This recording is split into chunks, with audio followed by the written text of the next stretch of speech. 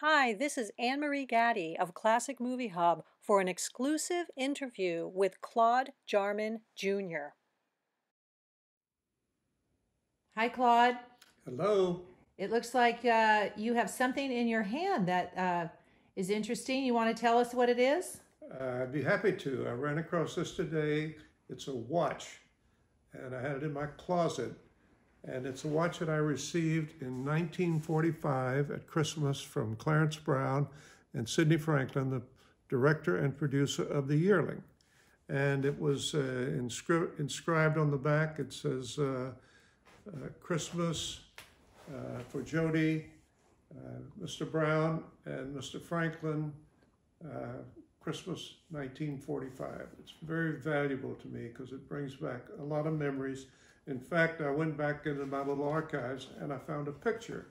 And this is the picture of the three of us, Clarence Brown here and Sidney Franklin here, and we're comparing watches on the set. It's a very uh, moving moment for me, and I still remember it. So, um, why don't you talk a little bit about what it was like to meet Clarence Brown? Where did you meet him? What was it like to work with him? Well, I guess the simplest thing I can say is uh, Clarence Brown changed my life. He found me uh, taking down Valentine's on Valentine's Day 1945 in Eakin School in Nashville, Tennessee. He was doing a search to find a young boy to play the role of Jody in The Yearling, and he came to my classroom, saw me, and uh, the rest is history. He ended up coming to my house uh, later that day and wanted to take some pictures, and these are the two pictures that he took that were sent to Sidney Franklin in Hollywood. There's another one where I look pretty homely there.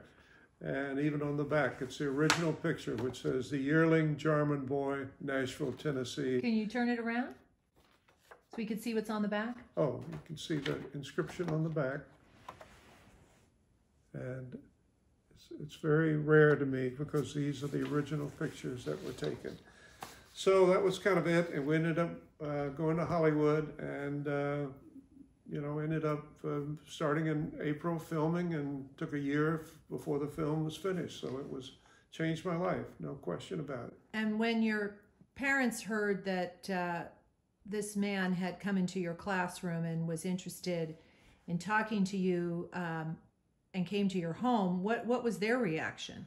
Uh, that was bewilderment.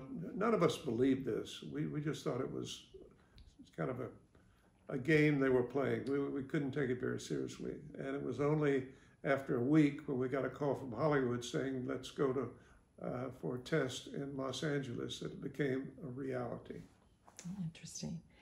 Um, so let's talk a little bit about filming The Yearling because it was your first movie. You were an unknown, and Clarence Brown was really taking a, a chance with you. What was it like to work with him? Well, first of all, he was he was really a perfectionist. He was trained as an engineer. Uh, he, he knew exactly what he wanted. It would take uh, sometimes 40 or 50 shots before he got what he wanted.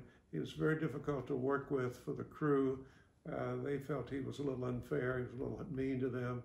He was not mean to me, but he was tough. He expected me to know my lines. He expected me to uh, be available to work. Uh, he, when we were in Florida, uh, every night he would take a walk with me or I'd go with him and he would want me to talk about what we were doing the next day, particularly if it had to be an emotional scene. So he wanted me to keep focused on what we were doing. And uh, fortunately I did, and fortunately it came out right. And, and did, when you talk about, you know, doing a scene, I know you did a bear scene, did he show you what to do? Did he help you? How, how did he convey what he wanted to you? Well, he would he would literally show me. Here's a here's a picture uh, when we're doing a scene chasing the bear, where he's in the water, showing me how he wanted me to uh, escape or go over to the where we were hunting hunting for the for the bear. So he was he was a very hands-on person. He was also fun. I mean, he would do things like he would he would end up boxing with me, showing me different things, uh, going to ride on uh, uh, taking a, s- a- a, uh, sailboat. I mean, he, he was just. I would go out to his home in uh, the valley in Calabasas, and he had a plane. And on the plane, he would uh, uh, he would give me a ride back over the mountain into Santa Monica. So he was he was he was very very uh, very very nice to me and very very warm, and he was like a second father. Did you keep up with him in when you were an adult? Did you see him again as an adult? Um, I, I did see him. Uh, I was still at MGM. I was making a lot of movies during that time, but I would always stop by and see him. He had an office on the set. Uh, later, uh, he gave. He, he was a graduate of the University of Tennessee, and he had given a, um, a bequeath to the to the school for a uh, performing arts center. And here's a picture.